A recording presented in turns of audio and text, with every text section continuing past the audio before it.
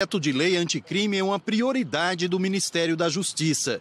Em vídeo divulgado nas redes sociais, o ministro Sérgio Moro afirmou que o pacote terá o foco em três medidas: contra a corrupção, o crime organizado e crimes violentos. Na nossa concepção, esses três problemas caminham juntos.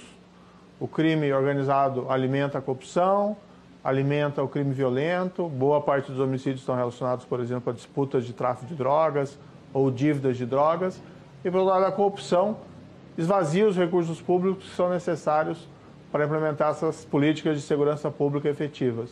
Moro disse que é um projeto simples, com medidas objetivas e eficazes. Entre as propostas estão a punição mais rigorosa para condenados por corrupção ou peculato, que é o desvio de dinheiro público, a prisão de condenados em segunda instância. Hoje, essas prisões não estão previstas em lei, só acontecem por causa de um entendimento do Supremo Tribunal Federal.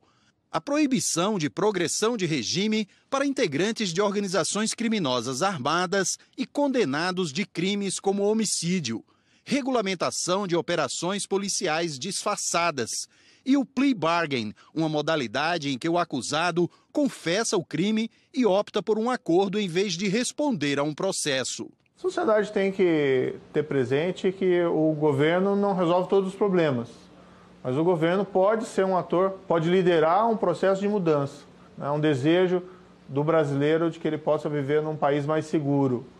E é, portanto, papel também da sociedade demandar essas respostas por parte do governo. O projeto de lei anticrime faz parte das metas dos primeiros 100 dias do governo de Jair Bolsonaro e deve ser enviado em breve ao Congresso. O ministro da Justiça e sua equipe trabalham na proposta desde o fim do ano passado.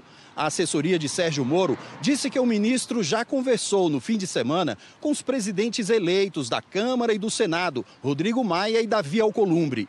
Nesta segunda, Moro toma um café da manhã com Rodrigo Maia antes da reunião com os governadores e secretários de segurança. É, durante a última semana, Moro intensificou a agenda com parlamentares, foram 20 entre deputados e senadores, todos com ligações e projetos à área de segurança pública. A gente está vendo esse movimento aí, né, Ana, para tentar aprovar essas medidas. Pé no movimento, esperando bons